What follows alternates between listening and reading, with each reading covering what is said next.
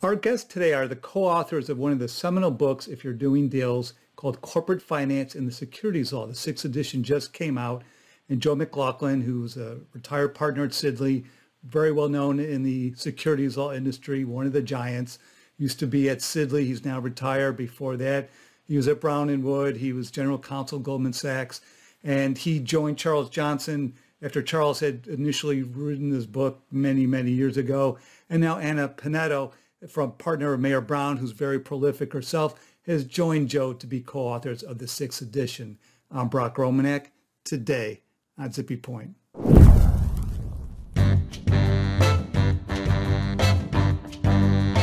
So I'm so excited to be here with you, Joe and Anna. The big fans of both of you for different reasons. Joe, for many years at the ABA meetings, I would listen to your counsel, and you were always one to express a viewpoint. Not many lawyers these days are willing to do that, and I've always appreciated about that. And Anna, you're you're just so prolific. You, you're just out and about writing so much, and now you've joined with Joe on this really important book that's been around forever. Uh, so very excited for that. So, what are the some of the topics that are addressed in this this this new sixth edition of, of the of the book? Well, the uh, sixth edition um, uh, has now been updated by the 2020 update, and the 2020 update was Anna's first, uh, Anna's and my first collaboration together, and I think it went very well. Uh, so, in updates, we uh, often include uh, recent developments like rule changes, uh, court decisions, emerging disclosure issues, and so on. But with new additions and with the addition of Anna as co-author, the opportunity comes up for adding some important topics. And uh, what we have done is to add SPACs and um, uh, reverse mergers to the chapter that previously dealt only with direct listings, but is now uh, titled uh, Alternatives to IPOs. And we had a chapter on pass-through entities, uh, and we've now added to that chapter business development companies. So I think the book, as supplemented by uh, the most recent uh, update, um, is better than it has been before, and we hope it'll continue to get better. And then, Joe, what do you think about the COVID crisis and how the SEC staff and the SEC handled that? Do you think we'll see any more enforcement actions like the Cheesecake Factory case, or are we past that point? Well, COVID's not the first uh, time that a um, new development has occurred that has affected um, the American um, economy and public companies in general and had important disclosure implications. And all the SEC can really do is to remind people that if they're preparing disclosure uh, in light of a significant development like COVID, they have to uh, take an honest and direct approach. Uh, and that includes not telling one set of people one uh, conclusion, another set of people another conclusion, as happened or was alleged to have happened in the uh, Cheesecake Factory um, uh, proceeding. Uh, Chairman Clayton, of course, said that he didn't expect the SEC to be uh, bringing charges against people who made good faith attempt to, attempts to disclose the picture as they saw it. And I don't regard the Cheesecake Factory uh, as a departure from that approach. Uh, again, I think the uh, important element there was uh, a company allegedly telling different people different things. And we've uh, had a lot of uh, reports filed in the meantime. There have been a lot of 10Qs and 10Ks and there's been a lot of disclosure, and people have a much better idea of uh, the limits of uh, disclosure when it comes to what public, public companies can say. So I don't expect uh, a lot more in the way of uh, enforcement activities. Uh, I think uh, companies are doing a good faith job to disclose the effects of COVID from their point, from their point of view. And, and I know the new book does cover the most recent trends related to IPOs. There's a lot of SPACs. Do you think that the SEC has done enough to promote IPOs in the United States? Well, you said before that I wasn't afraid to uh, express my views, and I will um, honor that. I think um, if uh, I were grading um, the former chair, uh, Jay Clayton, on uh, his performance in this particular area, I, I think it'd be a, a pretty low grade. His first speech uh, was early in 2017 before the Economic Club of New York, and he made a point of saying that he wanted to encourage more public companies. And at the time, according to a footnote in his speech, there were 43 uh, listed companies in the United States, 4,300 listed companies. And that number has actually gone down. Uh, so he hasn't got a lot to show for his efforts uh, during his tenure. And uh, this is a long-term uh, trend that uh, the incoming chair should be concerned about because as Chairman Clayton said, if public investors don't have access to uh, public companies, uh, that has long-term potentially negative implications for our economy and our society. Uh, now, to some degree, uh, the Jobs Act, uh, which made it possible for companies to um, have much uh, larger numbers of record holders and still avoid being required to file reports with the SEC, uh, in some respects, that uh, is uh, the reason why some companies stay private longer. Uh, but during uh, the Clayton SEC, uh, the SEC did spend an awful lot of time promoting exempt offerings. And it remains a mystery why the Clayton SEC did not even consider what could potentially be the most important thing the SEC could do to encourage IPOs, which is to extend the safe harbor for forward-looking statements that is in the 1995 legislation to IPOs. Uh, and Congress made it very clear back in 1995 that the SEC uh, ought to consider doing so. Joe, I think it's also worth um, noting that Clayton um, did not look at the research rules, and hopefully um, Gensler might take the opportunity to do so. You know, when I talk to a lot of smaller and mid cap companies, one of the concerns that they have, and this is particularly true for life sciences companies, is that um, even after they go public, um, they might be abandoned or find themselves with very little by way of, of research analyst coverage. So um, even after um, taking the leap and and choosing um, to to go public they might not really enjoy all the advantages that we might you know historically have associated with um, with being a public company if they don't really have um, sufficient or or um, meaningful um, research coverage. And and the SEC has not um, obviously it's a complex issue but the SEC could could play a very meaningful part in in rationalizing um, the research rules and and has just kind of failed to do that. And i think that's an important part of sort of the whole ipo um, the ipo framework and it's just been ignored for a really long time i don't know if you agree with that or not but i think it's it's um, it's an issue. And even for some of the companies that are going public by merging with SPACs, it will be an issue. Well, you're exactly right. And there is a section in chapter one of the book um, that uh, is captioned uh, The Future of the 1933 Act. And one of the points it makes is that the um, uh, public companies have suffered from a lack of uh, sell side research. Uh, which has largely disappeared for many reasons, uh, but um, is important to a company's decision to engage in an IPO. And then, Joe, when it comes to direct listings, what do you think about the SEC's approval of that of the New York Stock Exchange's rule change, particularly when it comes to Section 11 liability?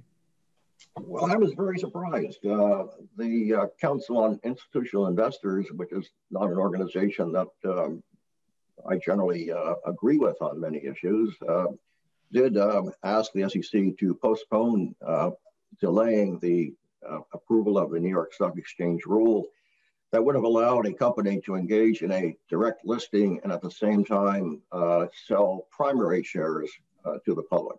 And the, the council said until the SEC fixes the problem of uh, a litigant being able to trace shares um, to the registration statement used for the IPO, and for the direct listing, uh, that uh, the SEC should not uh, proceed. Now, uh, there's litigation going on right now in California in the Ninth Circuit involving the Slack Technologies direct listing, where Slack is trying to dismiss a Section 11 claim on the grounds that the plaintiffs have not shown showed that they bought shares traceable to the registration statement. So direct listings have this vulnerability, but I will add that uh, so do other types of offerings. Uh, look at your ATM offerings, your at the market offerings, where a, an investment banker is asked to act as agent for the company and sell registered shares into the public market. Uh, this is like injecting um, a, a, dye into a fire hose uh, with a syringe because there's no way that people who buy on any given day uh, can uh, show that they bought registered shares. Uh, it is a, um, a problem that uh, becomes uh, greater when the company is selling shares directly along with um, stockholders who are selling shares. Uh, the SEC should pay attention to the issue because I think sooner or later it will attract Congress's attention. Good stuff, Joe. And then, and in the context of a merger with SPAC, there's an issue about the ability to freely discuss projections. Do you think if the safe harbor for forward-looking statements was tinkered with, that, that might solve the issue? Well, I think the problem with SPAC projections is that some people think they're overly aggressive because they have the benefit of the safe harbor. Um, yeah. Whereas, whereas IPOs don't. So uh, sure, you could fix the uh, you could fix the IPO problem by extending the safe harbor to IPOs, but that doesn't uh, cure uh, the problem if there is one. The SPACs are making overly optimistic projections uh, when they uh, plan to do their D, SPAC transaction. I, I think that's right. You know, to, to expand on on um, what Joe was saying, I think there's um, right now um, there is a perception, Broc, that um, there is uh, much greater freedom um, for companies, for private companies that are contemplating um, going public um, to communicate um, in the context of a merger with a SPAC. by combining with a SPAC than, than they would have to communicate if they were undertaking an IPO because they can um, include these projections, whether um, it's in the context of talking to, to pipe investors when um, they're marketing the, the pipe that almost inevitably accompanies a, a process these days, the SPAC pipe. Um, but, um, and, and so, and a lot of the companies that we're seeing um, go public through um, through mergers with SPACs are companies that are um, in sectors that um, are very much dependent on um, on future growth. So whether that's companies that are in the electric vehicle sector or companies that are in um, the satellite or uh, other uh, aerospace sector, um, where um, they the the premise is is really um, the valuation is based on on future growth and clearly there's there's no current revenue. So those projections are immensely valuable in terms of um, getting to the valuations. Um, i think there's a lot of emphasis placed by institutional investors and by the bankers on the ability to, to use those projections. Um, I think we're now kind of at the cusp of the the SPAC um, craze, and I think we're starting to to see you know sort of murmurings about SPAC litigation, and we're starting to see sort of the beginning of um, what is um, you know the, some of the the first um, set of companies that completed their um, their mergers with SPACs, having announced their earnings post SPAC um, SPAC merger, and maybe not having um, not having met the the projections. So it'll be interesting to see how all this plays out. Um, would things be different um, if uh, we could use projections in the context of IPOs? If, you know, instead of um, projections and models solely being shared with um, with research analysts in the context of an IPO, if those were shared um, broadly and, and, included in prospectuses, you know, would would that sort of fix the communications issues that that bankers and that private companies um, perceive? You know, I don't know. Is that something that we're likely to see addressed during this um, the Gensler, you know, Gensler tenure? I I doubt um, that um, that's likely to to be taken up. I agree. And, and, what about it seems as the years as I get older, the years seem to meld together. So it seems like the SEC is amending the accredited investor definition all the time, although I know that's not true. But do you foresee more changes coming soon? Well, um, there were there were clearly some um, some divisions among the commissioners when um, when the amendments were adopted to the accredited investor definition. And um, there were some um, concerns raised that the commission perhaps should have considered um, modifying, pardon me, modifying um, the net worth and um, the income thresholds and, and perhaps, you know, um, it was that that would have been the opportunity to do so. So maybe we'll see something there. I don't think that we'll see many other um, substantive changes to um, to the accredited investor definition. I think we've probably seen um, the most significant changes um, that we're going to see for for some time to to the definition, and probably to a lot of the exempt offering um, to the exempt offering framework, I suspect. And that's just just my view, of course. Well, I agree. Uh, it's a difficult area because if you make the definition uh, more restrictive, then people will complain that uh, small investors are being deprived of the opportunity to invest in private placements. If you go the other way, uh, people will complain about uh, the potential for fraud. So the SEC has to navigate this, and it's a treacherous channel. So, Joe, what, you know, during the prior administration, obviously some of the Democratic commissioners opposed a number of rule changes. Now that we have a, a new SEC chair coming in, you know, you, the exempt offering framework you touched upon. Do you think there might be other rollbacks of rulemakings, or is that too difficult to pull off? Well, it's a really fascinating area, uh, Broc, because uh, back in December, uh, Maxine Waters, who is now the uh, chair of the House Committee on Financial Services, uh, sent uh, uh, then President-elect Biden a uh, letter in which she used the word rescind 78 times.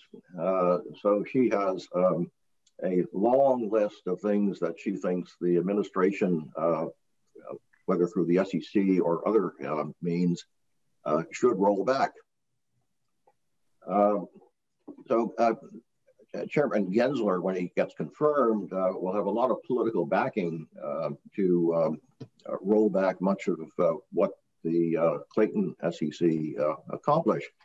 But you know, it's not that easy. an agency has to proceed carefully and within the um, procedural and substantive guidelines of the Administrative Procedure Act. It takes time to build a case why a rule adopted just recently ought to be overturned uh, if, if you do uh, overturn the rule, then you're, uh, there's a potential for litigation uh, based on uh, allegations that the commission has acted arbitrarily and capriciously. So uh, it takes up a lot of bandwidth. Anna and I did a presentation not long ago in which we talked about more than 20 Clayton Commission initiatives that have been adopted by a three to two or three to one um, vote and um, uh, it, it's just not clear to me that the SEC has enough bandwidth to uh, go back and revisit all those issues when there's a lot more to be done. Yeah, I've never seen an acting chair be so active. And then we actually even have an acting corp fin director, which in my career, I don't remember ever having someone in that role, but um, maybe I'm forgetting. Uh, well, certainly not for as long as it seems, not for as long as we've had this acting chair. I, I think. I mean, I, I, I can't. I, I join you. I can't remember having an acting chair for as long as we've had um, the current acting chair, and certainly not one that has been as active in in the role. And then, Anna, what about the disclosure effectiveness changes that we we've gotten? Is do you think that that initiative was helpful in modernizing the disclosures? You know, really around the edges, yes, um, but but only around the edges. Um, you know, I, I think that um, certain of the changes, um, for example, those relating to MD&A, um, which were adopted most recently, um, were perhaps the most helpful in terms of, of modernizing and really perhaps making a difference. But um, if you look at the changes relating to um, risk factors um, or uh, business um, or various of the other changes uh, relating to um, other aspects of uh, regulation SK. They were mostly just tinkering um, or, or really eliminating duplicative um, or outdated, um, outdated rules and didn't really sort of take advantage of the opportunity to affect real change.